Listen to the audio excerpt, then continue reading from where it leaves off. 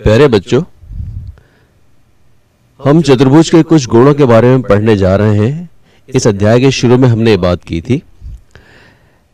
उन गुणों में से पहला गुण है जिस पर हमें ध्यान देना है, वो ये है कि किसी चतुर्भुज के चारों अंत कोणों का योग चार समकोण या 360 अंश होता है। इसे हम प्रमेय के रूप में भी हम सिद्ध कर सकते हैं। तो आइए देखें ये कैसे सिद्ध होता है। आप देख रहे हैं कि आपके सामने एक चतुर्भुज है जिसका नाम ए बी सी डी है। इस चतुर्भुज में चार कोण बन, बन रहे हैं। बिंदु ए पर एक कोण बन रहा है बी पर दूसरा सी पर तीसरा और डी पर चौथा कोण बन रहा है। इन कोणों को हम या तो कोण ए कोण बी कोण सी और कोण डी भी कह सकते हैं या फिर इस कोण के पूरे नाम के साथ हम पुकारें तो इस कोण के लिए हम कहेंगे कोण डी ए बी इस कोण के लिए हम कहेंगे कोण ए बी सी इस कोण को हम पढ़ेंगे बी सी डी और इस कोण को हम कह सकते हैं सी डी ए तो हम इस तरह से भी लिख सकते हैं या दूसरे ढंग से लिखने के यदि हम प्रयास करें तो हम ऐसा भी लिख सकते हैं। कोण ए धन, कोण बी धन, कोण सी धन, कोण डी बराबर, चार समकोण। या 360 अंश। इस तरह से हम इसे लिख सकते हैं। इसे सिद्ध करने के लिए हमको एक छोटी सी रचना करनी पड़ेगी। आप जानते हैं कि त्रिभुज के तीनों अंतः कोणों का योग दो समकोण होता है। तो यदि इस चतुर्भुज को हम दो त्रिभुजों में बांट लें और हम उसके आधार पर सिद्ध करें कि त्रिभुज के तीनों कोणों का योग दो समकोण होता है तो दो त्रिभुजों में इसको हम देखें तो ये हमें हमारे परिणाम तक लेके जाएगा। हम ए और सी को मिलाते हुए एक रेखाखंड खींचते हैं, जो हम कटी हुई रेखाओं से प्रदर्शित कर रहे हैं। तो ये रेखाखंड ऐसी हमको प्राप्त हो रहा है, जो पूरे त्रिभुज को दो हिस्सों, पूरे चतुर्भुज को दो हिस्सों में बांटता है।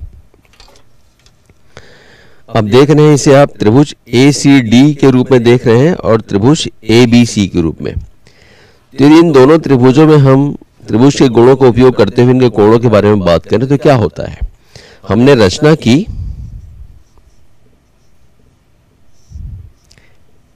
ए सी को मिलाया। ये हमने छोटी सी एक रचना कर ली। और ऐसा करने पर चतुर्भुज ए बी सी डी दो त्रिभुजों में बढ़ गया। त्रिभुज ए सी डी और दूसरा त्रिभुज A B C A B C प्राप्त हुए हमें।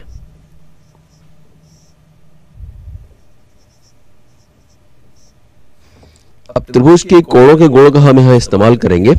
थोड़ी देर के लिए हम पूरा कोण लिखें, उससे अच्छा इसे हम दो हिस्सों में नया नाम दे दें। इसे ए वन कह दें और इसे ए टू कह दें।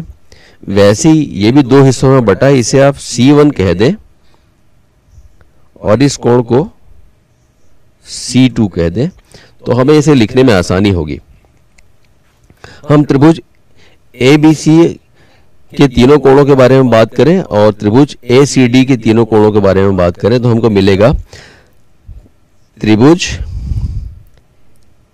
ए बी सी को पहले यदि हम लें, त्रिभुज ए बी सी में।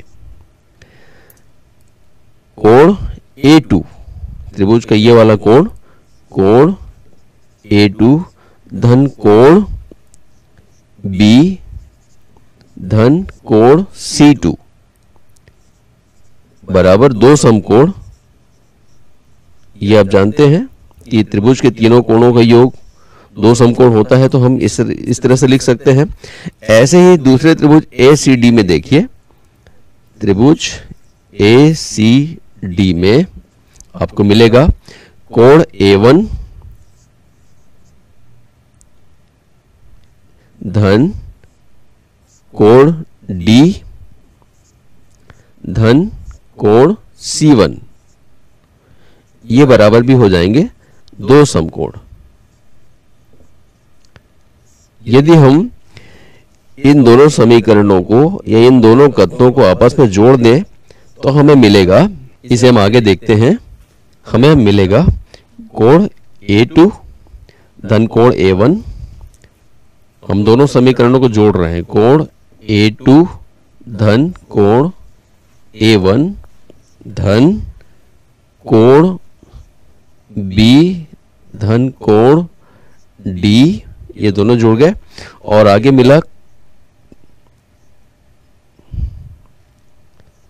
धन कोण C2 धन कोण C1 और ये बराबर मिला दो समकोण, धन दो समकोण, यानी चार समकोण। इसे आप लिख सकते हैं 360 अंश। ऐसा भी लिख सकते हैं। अब आप देखिए, कोण A2 धन A1 यहाँ से देखिए, कोण A2 धन A1 इस पूरे कोण को प्रदर्शित कर रहा है, जो कोण A है। तो इन दोनों के बदले हम लिख सकते हैं कोण ए, धन कोण बी, धन कोण डी। ये हमने यहाँ से लिया, कोण बी यहाँ से लिया, कोण डी यहाँ से लिया, धन कोण सी टू और कोण सी वन। कोण सी टू और कोण सी वन को जोड़ेंगे तो आपको ये पूरा कोण मिलेगा, जिसे आप कोण सी लिख सकते हैं। तो हमको मिलेगा कोण सी बराबर, हमने यहाँ लिखा है चार समकोण या 360 अंश। आप इनमें से किसी को भी लिख लें। ये 360 अंश।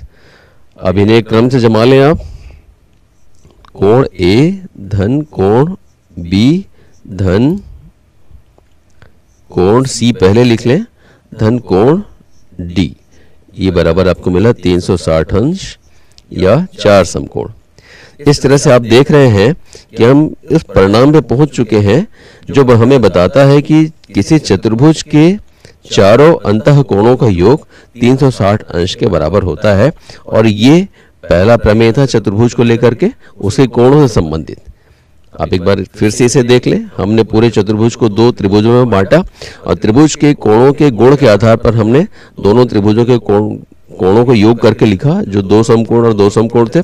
फिर हमने दोनों को मिला दिया तो हमें यह परिणाम प्राप्त हुआ कि चतुर्भुज के चारों अंत कोणों का योग 360 अंश या चार समकोण के बराबर होता है। करके देखें। पहला, एक चतुर्भुज के चारों अंत कोणों का अनुपात तीन, अनुपात पाँच, अनुपात सात, अनुपात नौ है। तो उसके प्रत्येक अंत कोण का मान ज्ञात कीजिए।